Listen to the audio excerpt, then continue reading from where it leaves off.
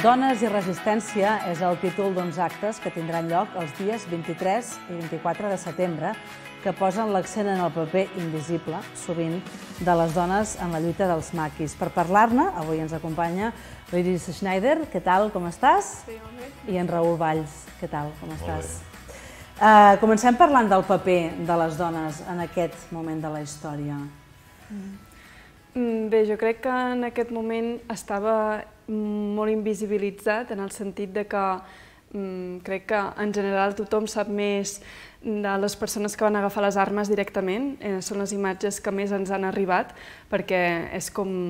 Eh, bueno, es busca potser a vegades aquesta morbositat de, de les armes, però mm, tot i que les dones no van agafar les armes tan pròpiament, només hi va haver unes poques milicianes, Um, sí que van tenir un paper molt important en tot el que és la resistència antifranquista, en el sentit de les cases d'enllaç o cases de suport, és a dir, aportant uh, el menjar o uh, els maquis que passaven per allà, o inclús fent d'enllaç, també portant elles, uh, traslladant-se a un lloc i portant el menjar cap allà i, i llavors doncs, bueno, volem visibilitzar totes aquestes tasques que sense elles no hagués estat possible també tot aquest entramat de, de la resistència antifranquista entre Espanya i França. Segurament, eh, quan diem invisibilitat, eh, ho, veiem, ho veiem des d'un punt de vista pejoratiu, però segurament en aquell moment ser invisible, passar desapercebuda, jugava al seu favor, no? més que a la seva contra. Sí, de fet sí, perquè eh, bueno, elles amagaven, per exemple, el menjar dins els cabassos i a sobre hi posaven altres coses, no? perquè a vegades sí que les paraven els guàrdies civils i llavors doncs s'havien d'inventar com alguna excusa. I de fet algunes sí que havien de pujar al monte, que, que es deia, eh, és a dir, acabaven anant amb, amb aquests grups que s'amagaven a les muntanyes per por a ser descobertes Llavors sí que tenim algunes que, que van acabar a les muntanyes, però, però són poques. És la melodia, eh? Uh -huh. Bueno, és, és a veure, una de les coses importants eh, en totes les resistències que hi va haver eh, a Catalunya, a Espanya tota, i a Europa durant l'època de la Segona Guerra Mundial, és el paper de les dones és molt important. Vull dir, per això, a mica la foto del cartell eh, hi ha aquesta, aquesta noia amb una bicicleta, uh -huh. que en certa manera és real la imatge de lo que va ser la resistència eh, contra el nazisme i contra el feixisme a Europa, perquè era doncs, la, la, la, la, la dona que en un moment determinat, doncs, com explicava molt bé la Iris, feia aquesta, aquesta, aquesta comunicació, portava informació, portaven eh, doncs, aliments, coses que necessitessin els guerrillers, els maquis a les muntanyes, i que sense aquest suport i sense aquesta participació que en alguns casos els hi va suposar detencions, tortures, morts, deportacions a camps de concentració, no hagués estat possible la resistència ni a França contra els nazis, ni aquí a Catalunya i a Espanya contra el franquisme. Ara estem veient el cartell, efectivament aquesta imatge en bicicleta eh, és una imatge bastant inofensiva, no? És allò de, mm, home, però aquesta persona no pot estar fent res mal fet, no? És una persona que va, una noia que va en bicicleta. D'això es tractava.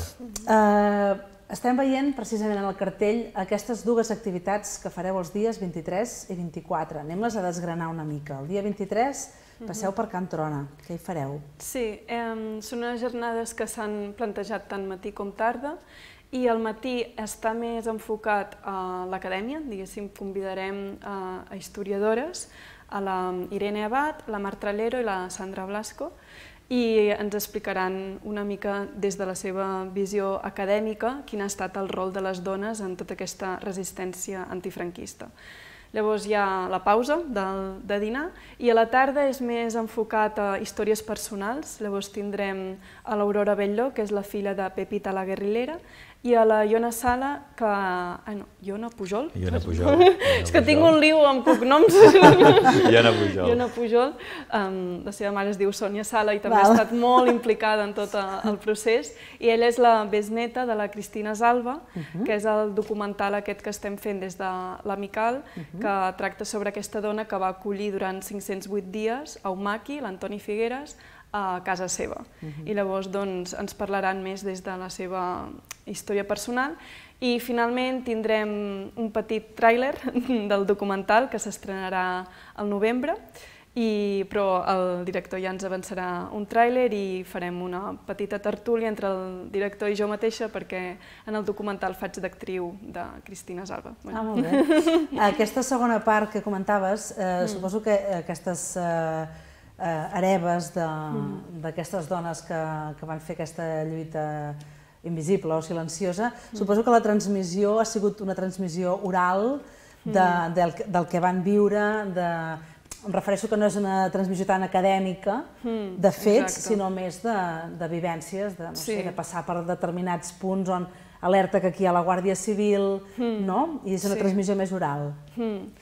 Sí, bé, en el cas de l'Aurora jo no el sé tant com va anar, però per exemple en el cas de, de la Iona i de la Cristina Salva era algo que havia estat molt callat també, o sigui que no ha sigut fins després amb tota la feina que hem fet des de l'Amical que hem pogut anar desgranant la història també, perquè bueno, estava com una mica amagada. Com bueno, tot el que té a veure amb la Guerra Civil, eh, Raül? Sí, en certa Els manera silencis, moltes dones, moltes, bueno, en general la població, però sobretot moltes dones que van participar en la resistència, primer no es consideraven tan protagonistes ni tan heroiques com, els, com els seus, les seves parelles masculines o com els altres companys. No? Això ja és un element que hem de tenir en compte i que, i que moltes vegades quan vas a la història real te n'adones que no era així, de que aquelles dones es van jugar la vida i, el, i, i en alguns casos doncs, eh, van patir doncs, les mateixes conseqüències que els seus companys eh, homes. No? Per tant, jo crec que això és interessant, eh, és posar-ho en valor i explicar-ho.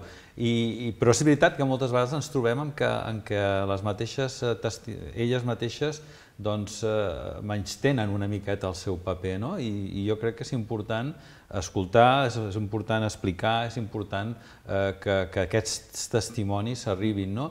I, bueno, i aquestes jornades del Maquis, que ja seran les cinquenes, a més a més, a Can Trona, doncs el que, el que tenen intenció sobretot és d'això, d'explicar de, de, de, que hi havia una resistència armada, que era important, que, era, que va ser doncs, eh, un intent important de, de, de tombar el règim franquista, però que al mateix temps havia una resistència al voltant d'aquesta resistència, una resistència eh, basada més en les cures, basada més en el suport, basada més en, en que allò es mantingués viu, perquè sense les dones no hagués estat possible ni en lloc, ni aquí, ni en lloc, una resistència com aquella. Ara hi ha imatges, sorties precisament tu, Raül, aquí a l'Auditori de Can Trona, eh, en aquí presentàveu els senders aquests de, dels maquis. Uh -huh. um, hi ha altres països que han resolt millor que, que aquí a Catalunya eh, els seus conflictes, no?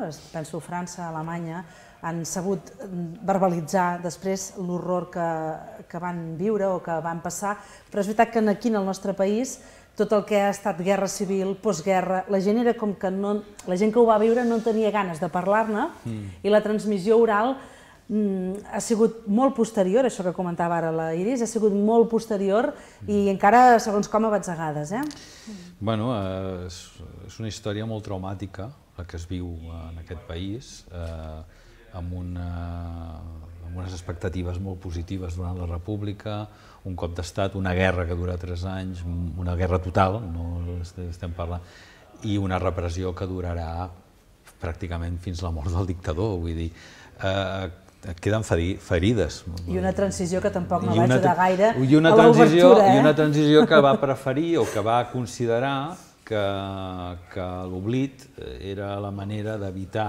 Eh, de passar doncs, pàgina. De passar pàgina i d'evitar una nova guerra. Jo, ara, jo era petit, però jo tinc el record d'aquella època i, i la, la idea de que pogués tornar a passar allò se'ns repetia constantment. Per tant, eh, en certa manera hem d'entendre certes coses. No? Ara, jo crec que tot torna i els records tornen i, i és important que, eh, que no quedi en l'oblit tot el que va passar. Encara hi ha molta gent enterrada en fosses, uh -huh. encara hi ha moltes injustícies, molta, bueno, molts, eh, moltes històries i molts noms que cal recuperar i per això nosaltres estem, estem treballant, diguérem, perquè aquesta part de la història, que és la del maquis, i la resistència d'aquells anys, sobretot anys 40, principis dels 50, no, no quedi en l'oblit.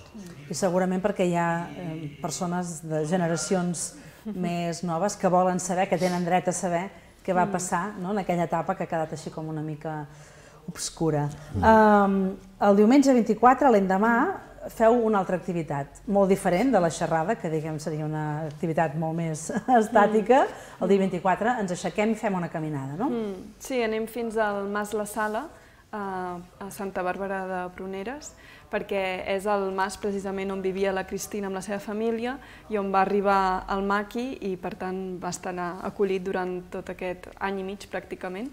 I, i bé, volem, o sigui, sempre en aquestes jornades hem vinculat una part, és a dir, un dia més acadèmic, més de seure, i una altra d'anar a recórrer els camins, perquè els tenim aquí a prop, i això és una que volem també visibilitzar molt, i que una de les nostres tasques és aquesta recuperació de la ruta dels maquis, perquè llavors unim com un oci excursionista, però també eh, posant tot aquest sentit memorial, i ja no només eh, caminem aquests camins um, des, um, per veure uh, paisatgísticament no? que bonic que són, sinó que també hi donem com aquest punt i creiem que és molt important. A més, són camins o cases o sigui, que, que la gent coneix, i, però que hi ha històries allà amagades i que val la pena um, saber què van passar.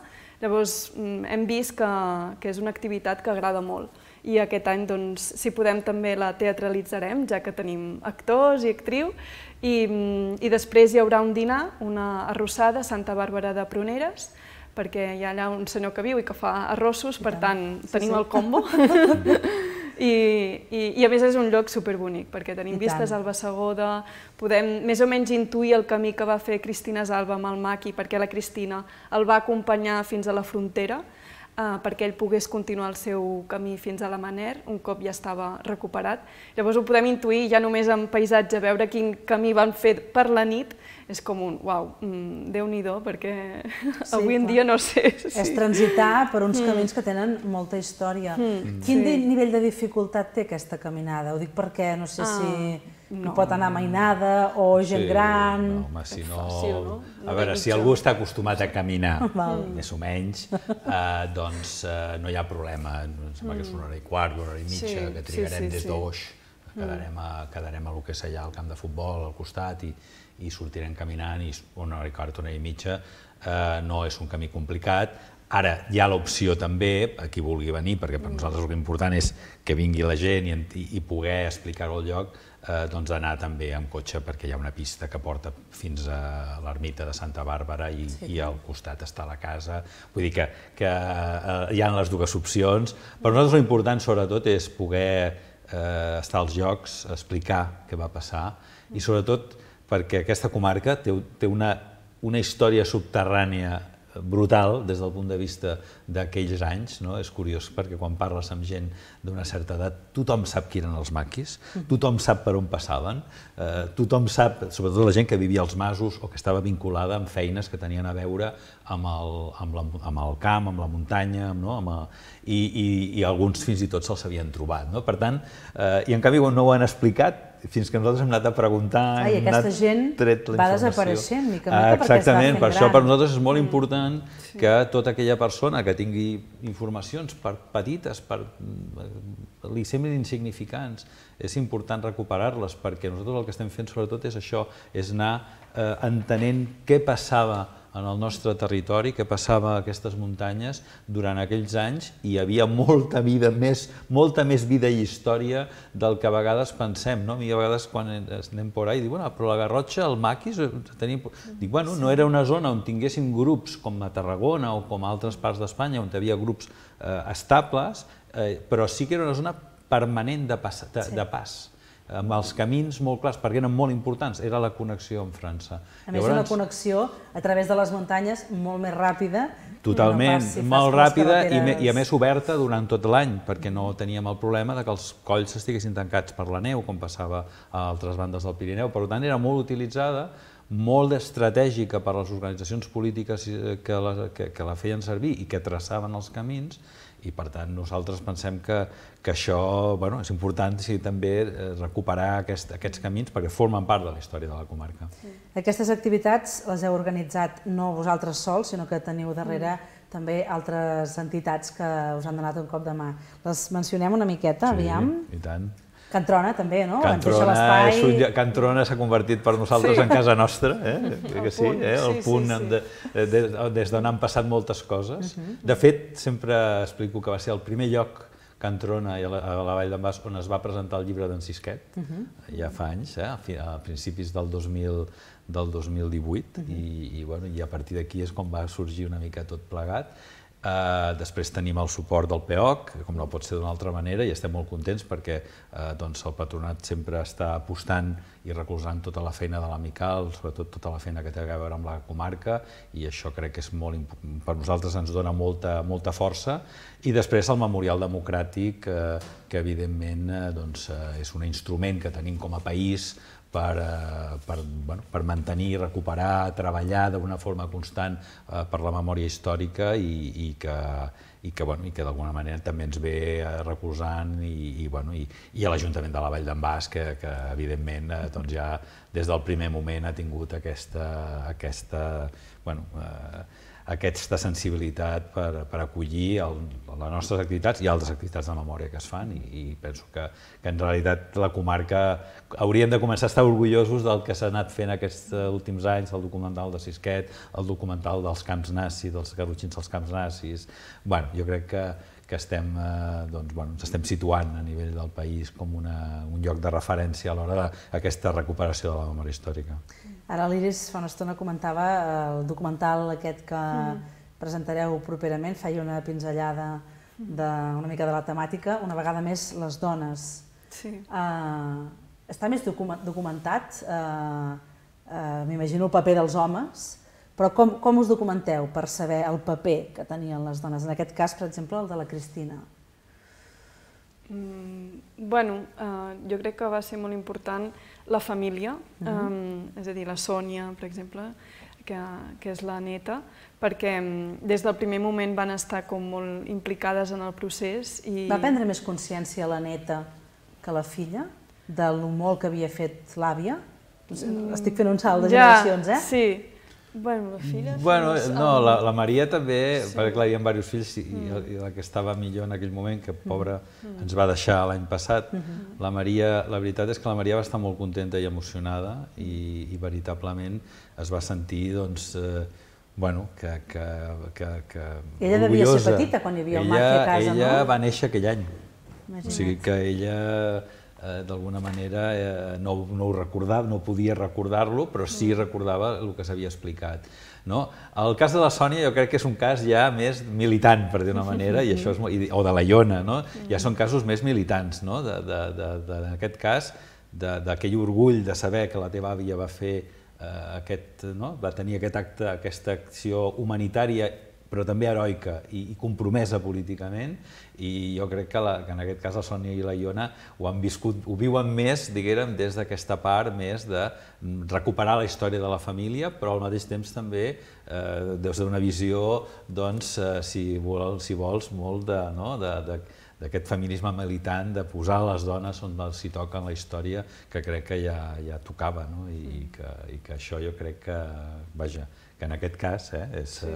eh, I, i, I segurament també és veritat que, en, que, que en termes, diguem, de històries relacionades amb el paper de les dones, aquesta, aquesta oralitat, aquest explicar, té més importància que a vegades la part més acadèmica que ens arriba ara. Jo crec que per això jo crec que al matí, com explicava molt bé la Iris, hi haurà tota aquesta part d'historiadores que ja estan treballant, totes en general joves, les que, la, molt joves, les que vindran, les historiadores que vindran, i que expressa que hi ha tot un corrent acadèmic que, que està treballant aquests temes i que són dones les que ho estan eh, liderant.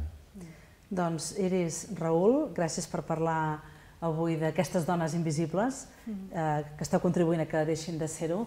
Eh, que vagi molt bé. Gràcies. Gràcies.